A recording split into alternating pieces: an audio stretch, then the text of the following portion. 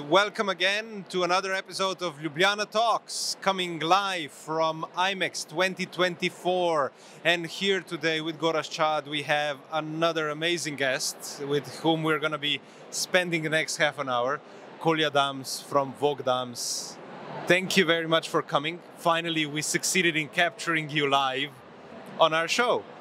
And um, the first question, I actually told you about this one before, so you had the most amazing studio during COVID, from which we saw you, you know, making your comments and projections. Is that studio still there? Yeah.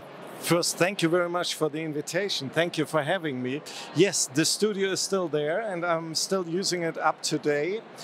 Um, I'm kind of a technical geek, so I end up um, optimizing it. And now we have a few of these studios in our offices. Colja, could you tell us a little bit more about you? Because the amazing story of uh, your agency is something what the colleagues need to learn more about. So, just a little bit words about the agency yourself, yeah, history. Now um, let's go into history. I'm actually we have to take it back. It's a family business. My father founded the agency 50 years ago, and um, I took it over in 97 and um, i was basically born into this industry. So even as a kid i spent most of my time at trade shows at events. But we started out actually with media production.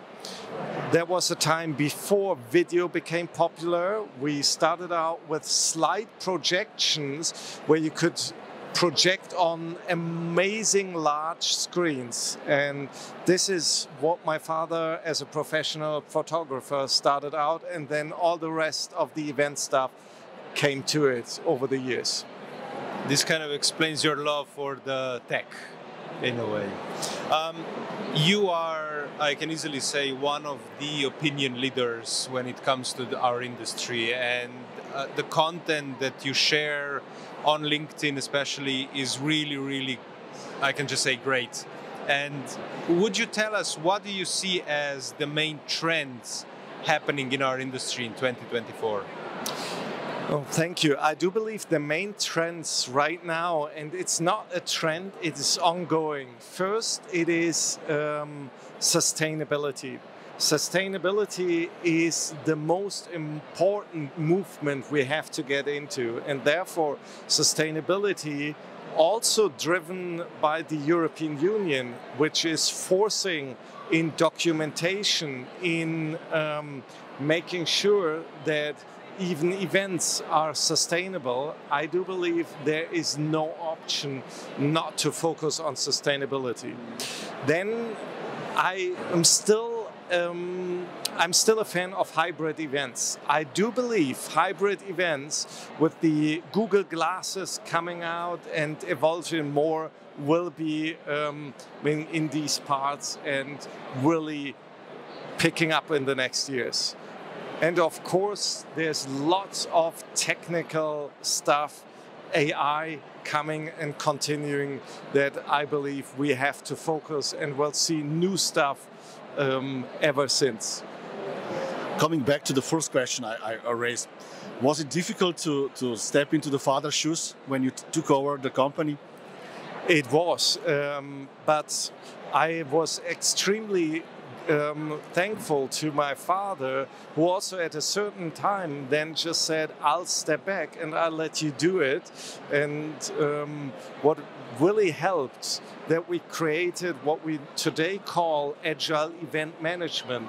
So, a very on eye level, iterative process in um, getting further and getting ahead. And this is extremely helpful. I'm a big fan of, of your, your agile approach. I would say maybe even because of that you survived uh, uh, the corona crisis untouched, uh, I would say. But can you explain to everybody what is that actually in a simple word so that they will understand?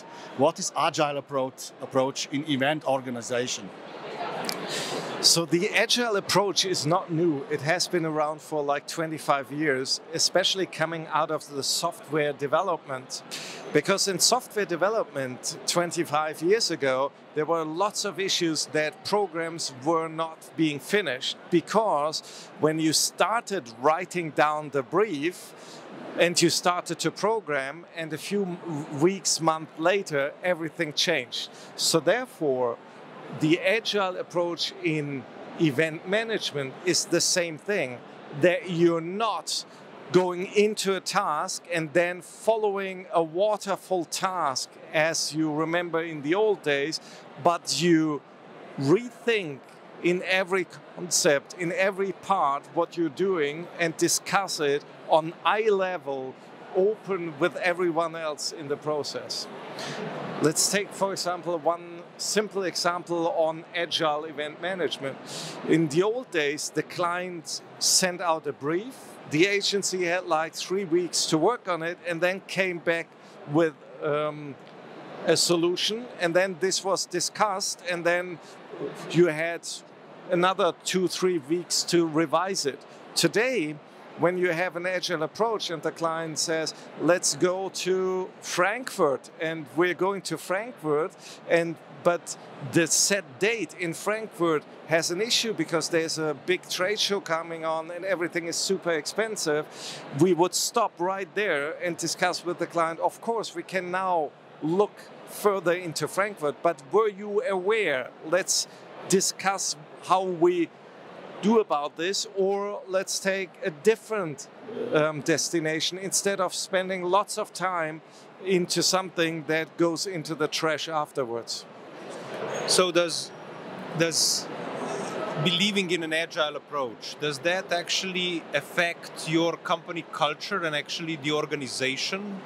It does because it doesn't. Um, in the old days, there was one management person picking out the tasks and giving them to people and then overseeing the fulfillment of the task.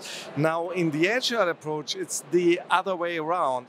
Um, everything that comes in, like also RFPs, go into a, um, a funnel, and then everyone can pick and choose what they want to work on and um, in these parts of course it's a learning process and it is a process that we also still have to get better and better at but it's a huge difference also in culture if someone tells you to do something or you picked it yourself it's a it's a very big break to the typical top-down kind of management system. And how many employees are now with VOK DAMS?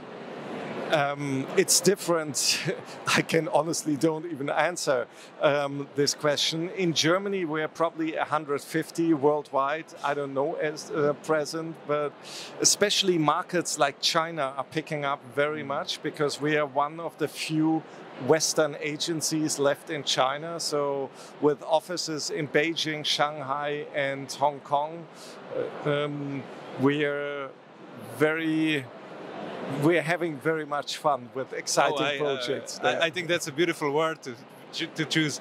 So, how does digitalization help you with this structure? How do you use digitalization in this way? I believe digitalization has always been there and is not only now just changing about AI, but has always been there. And this was, for me, also the first move into the industry, coming actually from guest management um, into the industry where I had the opportunity to really um, rethink workflows and processes. So I believe without technical support in event tech, but also moving it on the next level to marketing technologies is absolutely key right now. Um, I need to ask you something uh, about the pitching process here in Germany. Well, we have we see a lot of differences during between the countries in Europe. Is this is this process well structured in Germany in a way that I don't know they do not invite tons of agencies to a pitch or that they repay your work, hard work you, you invest into a pitching? How it is actually in Germany? It again, I can only speak for us or um, for a situation post COVID, so that may change. Right now, we are not pitching um, a lot because um, there's so much business out there and so many companies are looking for agencies to help them. Mm. Business that we unfortunately can also only answer um, a fraction of all the RFPs coming in.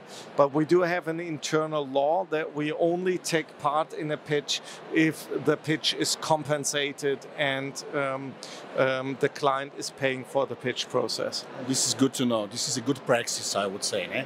Uh, well, as you know, the new European legislation is forcing at this moment 50,000 European companies to report uh, according to ESRS st- standards and uh, how, what is your how do you address this this challenge actually and we are coming back to sustainability we are running around that in the circles uh, this, this this whole day actually um, during the pandemic, we basically split up in two teams. We had the team sustainability and the team digital. And this is what we focused up on. So we are now ISO 2121 um, certified. And I believe this is a good starting um, point to help companies fulfill their needs and requirements. And um, I do. Uh, we do get a lot of requests just for measurement. What I would be wishing for that we are taking it a step further, not just focusing on measurement, but really moving it a step further in these parts. I mean, when we talk about events, um, do you see that uh, it's something that also we touched upon with Gorazd on quite a few of our talks with different people? Do you see that there are more and more events created, and do you see that there, if there's a problem with this There as more a trend? and more events. There's more and more new events being Ah, okay. created. I do I do see from our clients our clients do less events than pre-COVID but invest much more money for every single event.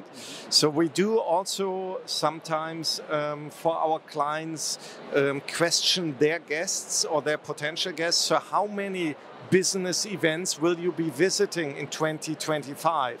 And the um, number is down. So when uh, um, like trade shows, conferences, people said, I'm going to visit um, two to three when it was five to seven pre-COVID. Therefore, it's more important for you to really focus on the event um, that um, you as a brand are inviting to, that people are coming to you. So we see rising budgets for events, but less events um, than in the past if you ch- check readers if you or if you, if you check the portfolio of dams on the website you will see amazing creative works there you know. So you are definitely part of creative uh, leg of the industry. But we have also logistical part. Is there a kind of symbiosis between logistical and creative part or there is a war going on? And yeah another question is is it true that if we meet we change the world? As the mpi was uh, saying a long time ago actually yeah, we do. I believe um, also talking of AI, AI will drive to more live events because you cannot fake events. And what we're doing right now, speaking in person, broadcasted, but speaking in person has an enormous value. And the more digital we get, the higher this value is. And therefore, I do believe in the future this comes together and creativity, technology, um, um, logistics have to go hand in hand. And underlying is the key objective of the event and sustainability. Because therefore, it makes sense if you rethink stuff from the beginning, um, it's extremely helpful also on your overall CO2 footprint. It's a, very interesting uh, concept of what you said, and I, I, I think we all agree that we want to spend our time more efficiently, not just spend it. We we became more aware of the value of time perhaps after COVID. So I completely agree with you that we would be more picky when which event we would be attending and which not.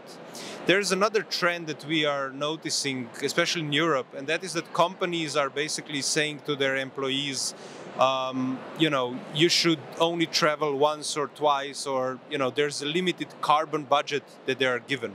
Do you see this with your clients as well? We do. So, therefore, um, um, when someone is investing the money to travel to an event, the event better be good.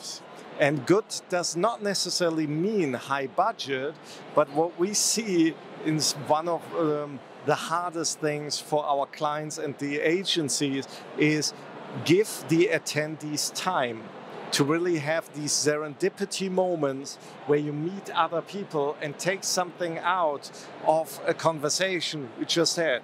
For example, we just talked about um, um, someone from France living Ljubljana and coming back after years, seeing the development. That's something that will resonate with me and is something that is transforming myself. And I believe this is all, it's not just about experience. So we're moving into a transformation experience here. So to achieve transformation, I imagine there would be on a corporate level certain KPIs. Do you see that there are KPIs being put down as a part uh, from the side of the client saying these are the KPIs our employees have to chase at that event? What would those be? I believe um, um, this is a question I cannot answer, but the, um, um we believe in data driven event management, and every event has to start with a simple question. The question is what are the attendees supposed to be doing after the event so, what are they supposed to be doing? What are they supposed to be doing differently? And this is the most important question to ask. And then, after you ask this question, you have to follow up with another question Why aren't they doing it now without the event? To really double check can the event move into this change of decision? And um, then you break it down into KPIs. And um, I believe this is where the KPIs are coming from. A KPI that everyone has to talk to everyone or everyone has to watch a screen at least 45 seconds is not a KPI. You, um, and in a lot of cases, honestly, we're right now measuring atmosphere level. How was the food? How was the transportation? How were waiting time?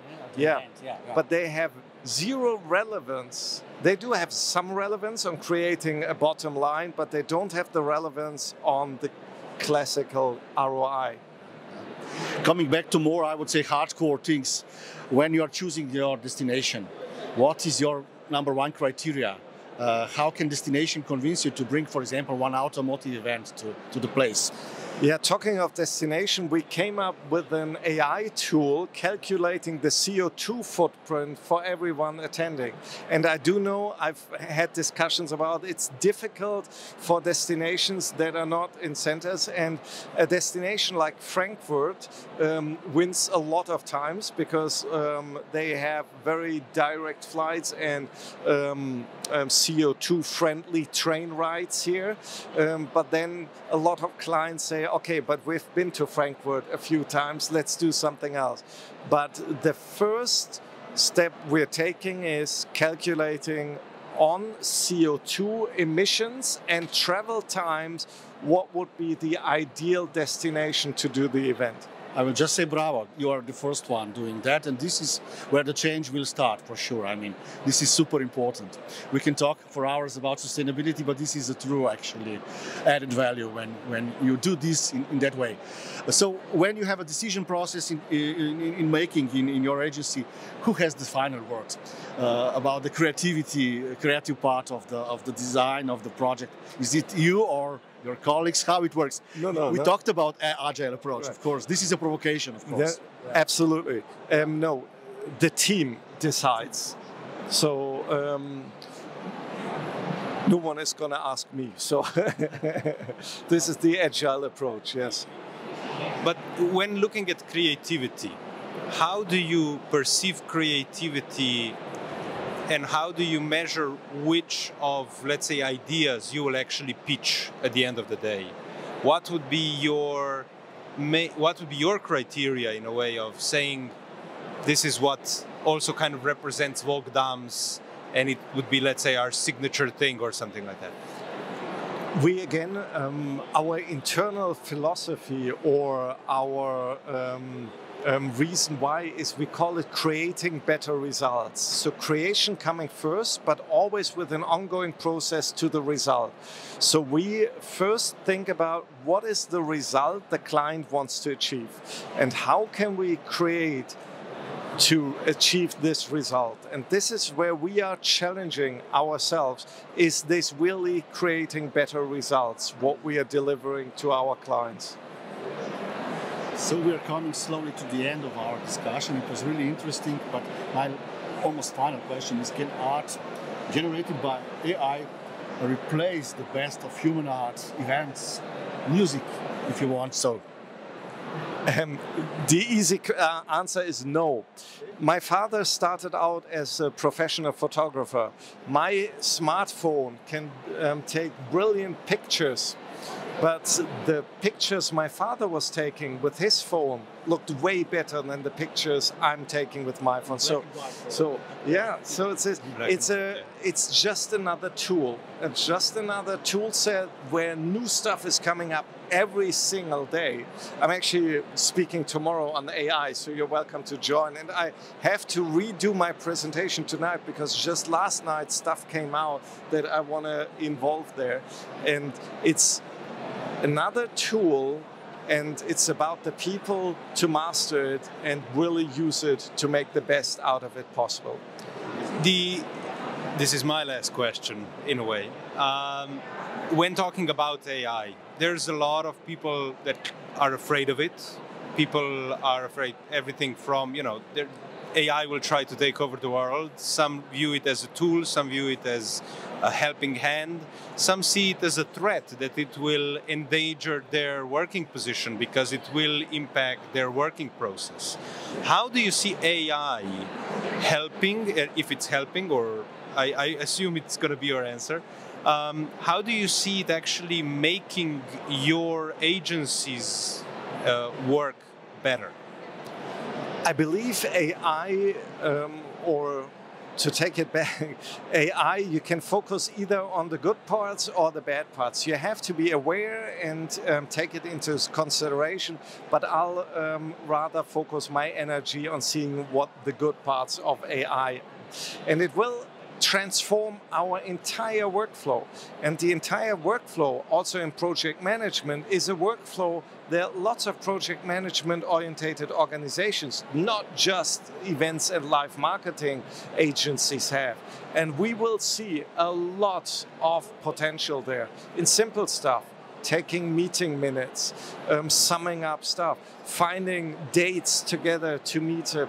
It's so much easier in these parts, and we'll, we'll see this in all parts. So, to sum it up, no, you will not lose your job through AI, or the AI will not take over the job of an event manager, but event managers using AI will take the jobs from event managers not using AI because it's so much faster, so much more efficient, and at least to me, it's a lot more fun using AI.